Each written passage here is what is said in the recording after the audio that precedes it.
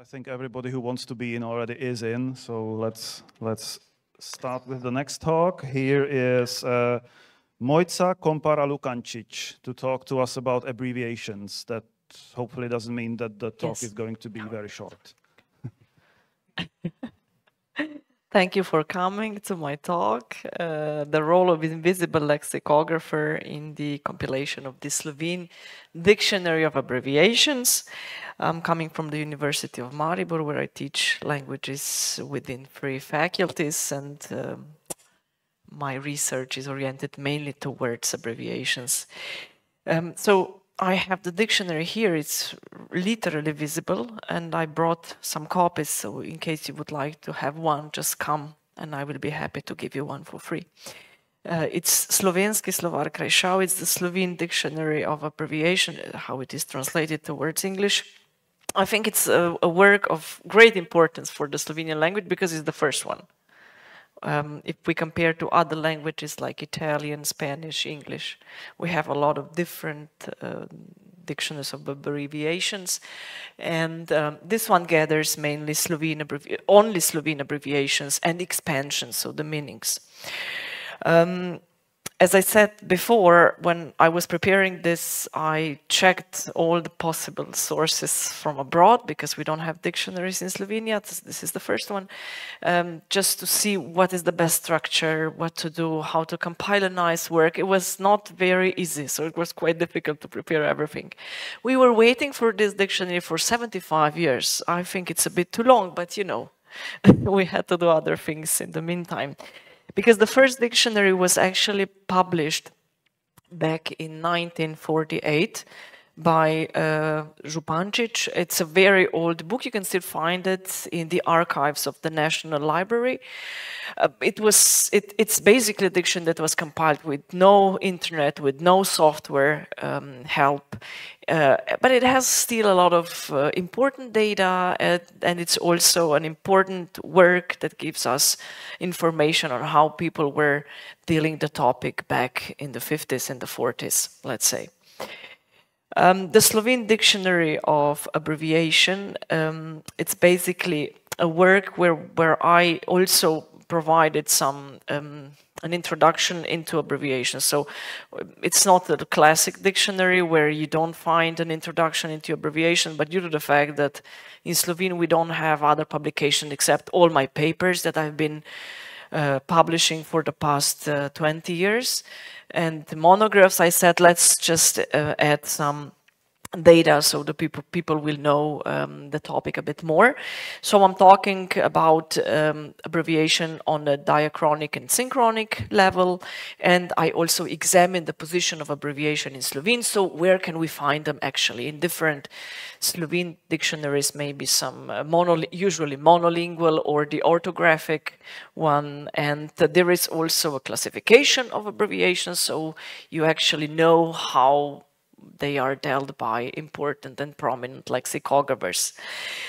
Um, mainly the position of abbreviations is well, it was well described in the past in the orthographic dictionary, especially the one that was published back in 2001.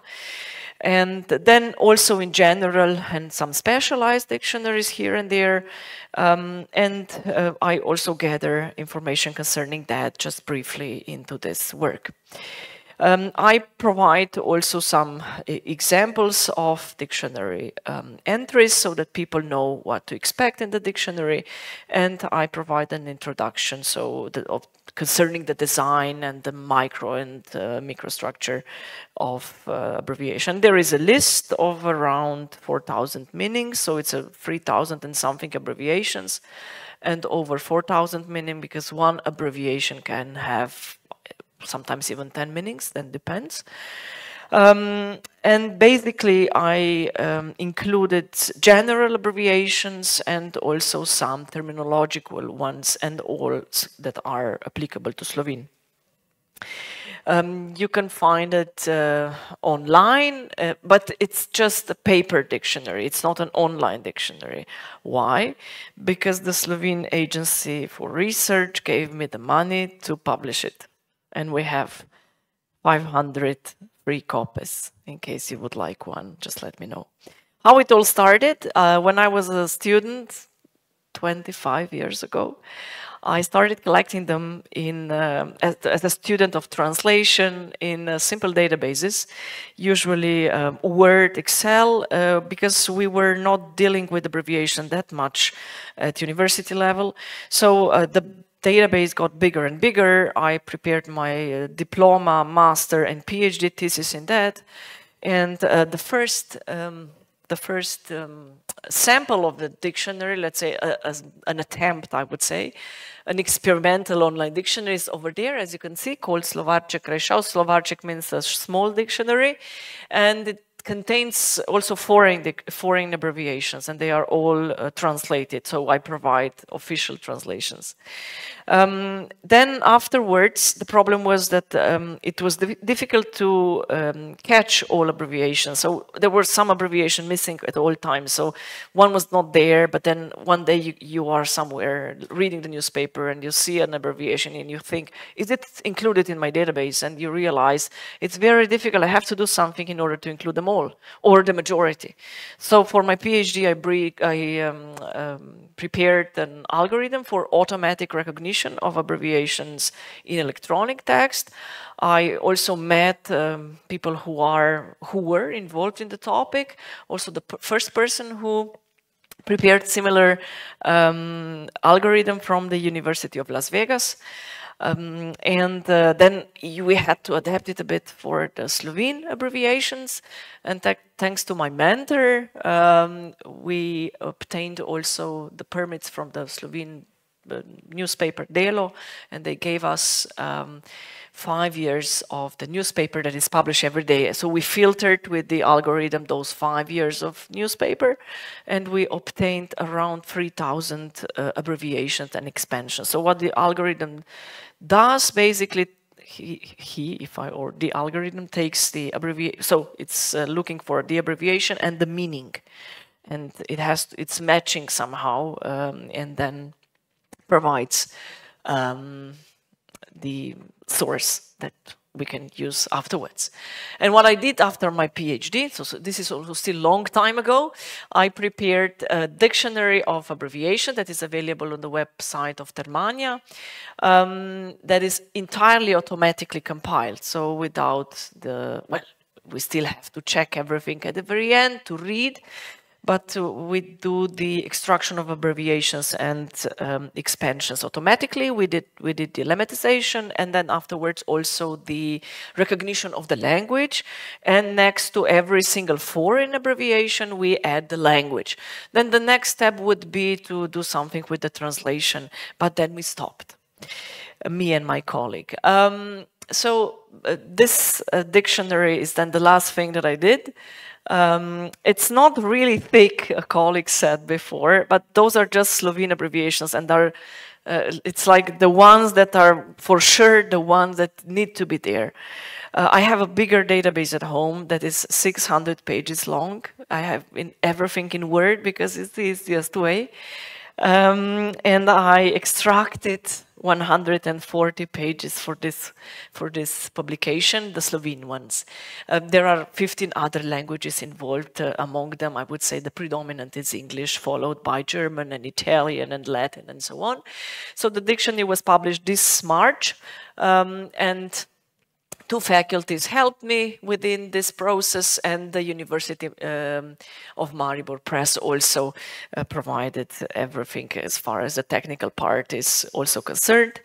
Um, and if I just move towards abbreviations just a bit, I do believe you're all familiar with abbreviation. If I ask you one, you would be easily pointing or thinking of them.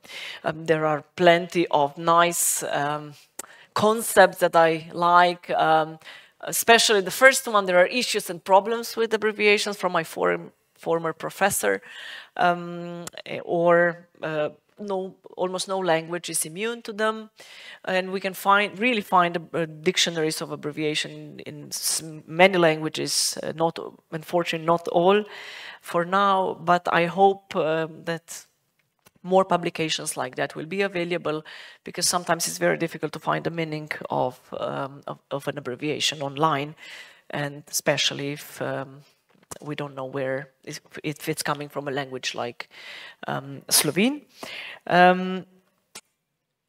I checked different dictionaries before compiling this one. I'm also in contact with different authors. So in English, we have really a lot of uh, sources available.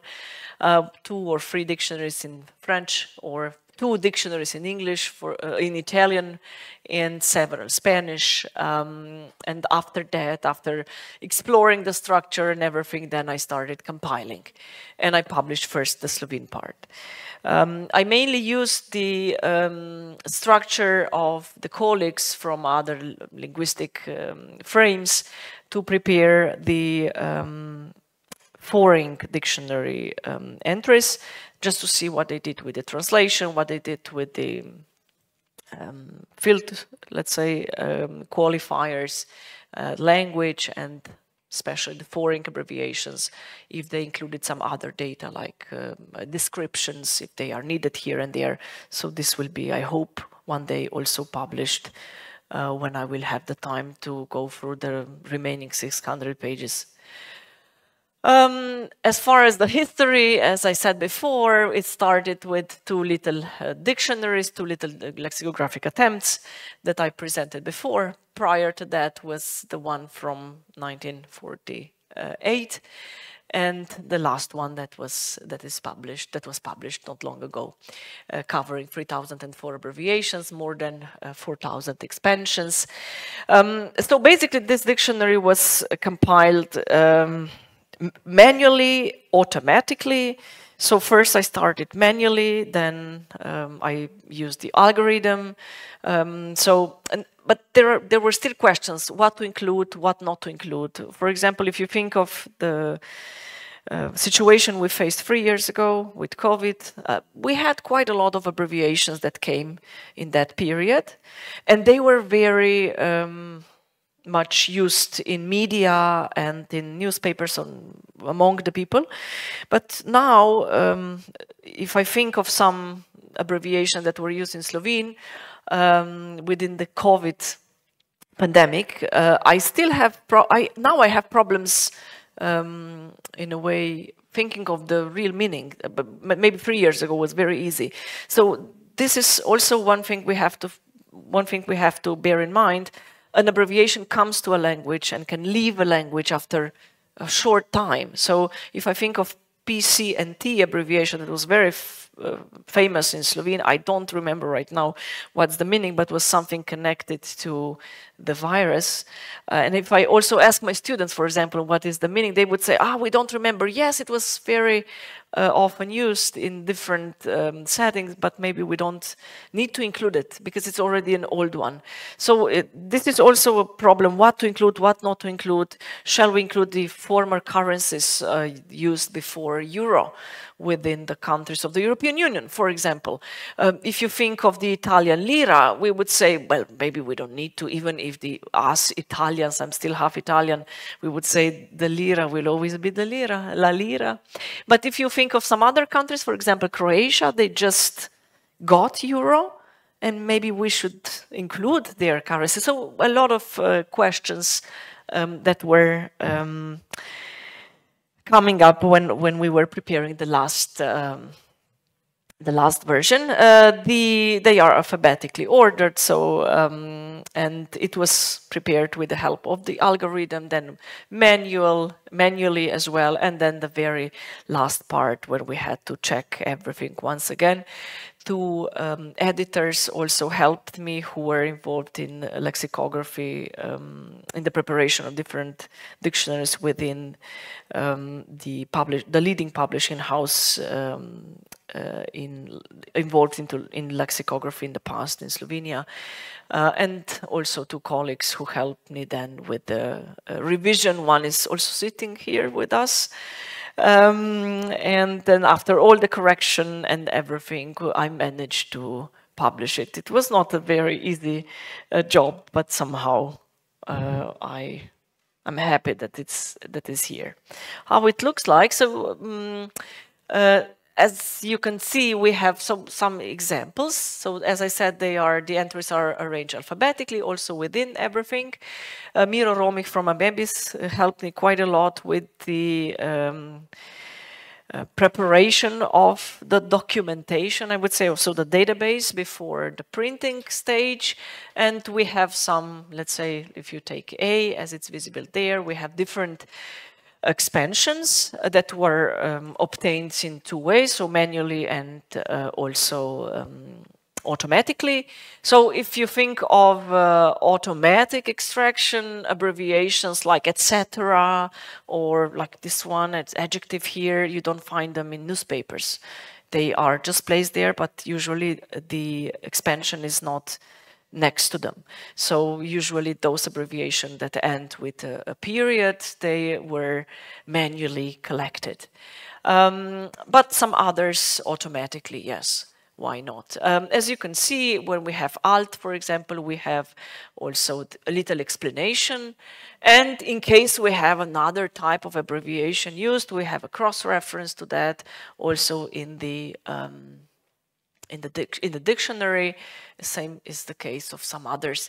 Or we could have a foreign word that is also um, used in Slovene, as you can see here, and then we have the Slovene the adjective and we have our own abbreviation and also this one is included in the within the um, entries of the dictionary.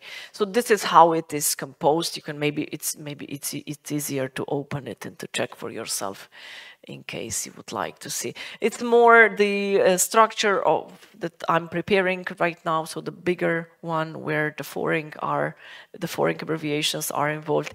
It's a bit uh, different and it's more demanding, to be honest. One thing that was also problematic within the automatic extractions are abbreviation that are foreign, foreign, but the expansion is Slovene. And then the matching is not working very well. So this was here and there a bit problematic. Um, but uh, the rest was in a way prepared smoothly. Um, so I would like to finish maybe with the little two uh, sentences that are um, available here. Um, and also um, that I think it's a nice contribution to my language. And I'm happy that I started first with the Slovene one. And I'm happy that I have enough material to move on and hopefully in the following years prepare a bit more so that it will be really similar to and in a way um, comparable to other dictionaries from um, important languages um, that I mentioned today. Thank you for your attention. If you would like a spare copy, I have seven books with me.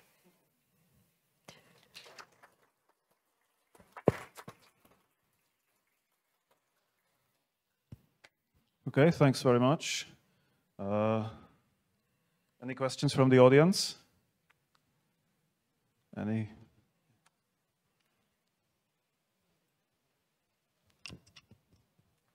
Um, thank you. Um, just one question. If I understand it correctly, the extraction method was based on uh, journalistic data.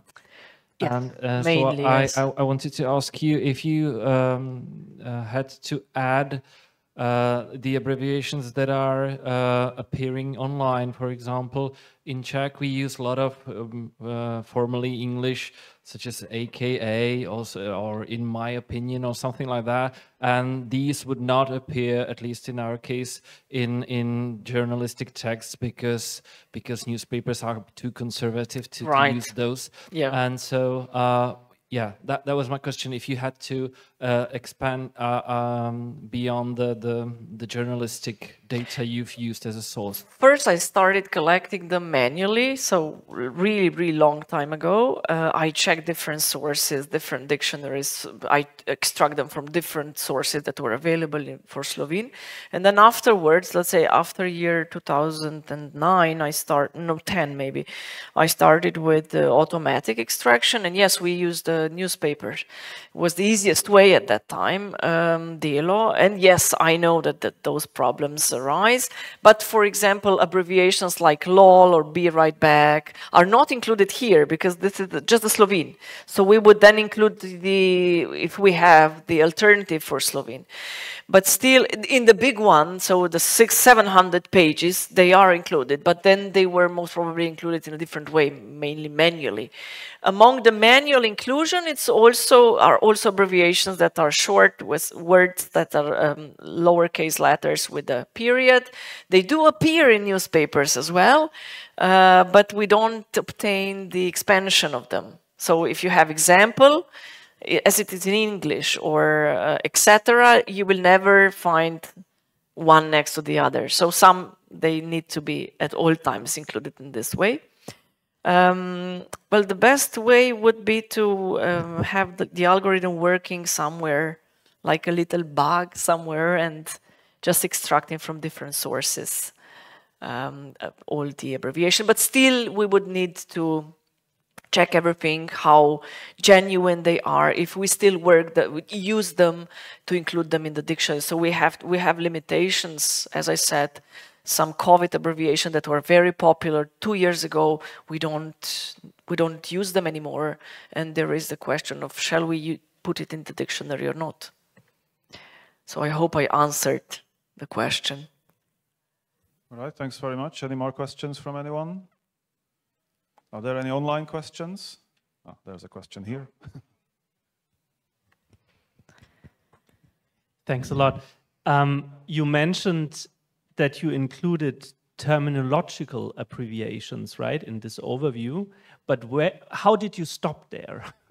Well, did you have one one overarching rule over all terminological areas, or yeah, well, as a person who is working within the humanities, it's much easier for me to take them from those areas and sub areas. When it comes to natural sciences, I left all my knowledge of chemistry in high school, so very long time ago. Um, what I also did, and I, I forgot to tell, is that I included, but they are not visible, the um, field qualifier. So from which field are coming? If uh, we say, but some are still generic, right? But maybe there is an abbreviation used in linguistics, some in economy, and I did that uh, just, and the whole dictionary uh, that I have, 700 pages, is structured like that. But I had a lot of problems with uh, natural sciences. I'm not an expert, it was very difficult. Is it belonging to one field? Maybe it's belonging to two fields, so it could be chemistry, biochemistry. So there is problematic, but I still say, said to myself, I will leave it. Maybe a colleague from mine will prepare a dictionary of, I don't know, um, terms related to the economy and finance and it could come to me and I can extract with a simple click all those abbreviations that are applicable to his or her, let's say, field. Uh, still, the person needs then to check manually if everything is okay. But due to the fact that I entered uh, uh, field qualifiers, at least I prepared in a way the database so that somebody else could use it in the future. So yeah, uh, there's still a lot of things that are missing. Maybe the a good thing would be to uh, have the ability to use maybe scientific papers um, and then extract from there from different fields. It's something that I do with my student, but for something else. Uh, we extract some other data from the text of criminal justice and security, where also abbreviations are very often present. All right, any more questions from anyone? If not, then I might have a question. I'm used to dealing with uh, abbreviations in the context of terminology and terminological databases where abbreviations are usually treated as just another type of term. Yep. And I've noticed that your database of abbreviations is on the Termania website. Yeah. Is it somehow integrated with the other terminology entries that are on that website, or is the, it kind of completely separate? No, no, it's separate because uh, I did that with the um, uh, the, the, the, dictionary, the, the, second one that I showed, well, the only one that is available on Termania is basically automatically compiled, uh, and it's from the newspaper articles. So it's um, Right, so it's general. It's a gen, from general text, so actually. It's not, it's not so well integrated into any other database. no, no, It's no, no, no. thing. It's a separate thing. Yeah. Okay. Well, thank you very much. Uh, maybe one last question. Yeah. What is the connection with invisible lexicography? What's invisible here? Do you consider yourself invisible in this work or? Well, the invisible is basically to to use a, an algorithm for the preparation of that and, and everything that does. So, well, uh, the automatic dictionary. So this one is half automatic, half. Uh, so the lexicographer is invisible there, but especially the one that was published back in 2011 is completely invisible. People don't know. They would think a human being was there collecting everything, and if I just say that for the first database that has 5,000 entries, I don't know, I needed maybe five years to prepare everything, and the algorithm extracts, uh, uh, well, after the extraction provides two to 3,000 abbreviation in 30 minutes. It's really a, an, ins- an invisible individual who is helping in the preparation. And then also the automatic invisible thing connected to lemmatization and the rest. And uh, adding the languages and the rest. So I hope it's invisible enough. I'd say it qualifies. yeah. Okay, That's why I was inviting. I was invited to come. So thanks very much. Uh, that concludes this talk, and we come back in five minutes for the last talk in this particular block. So thank, Thank you. you.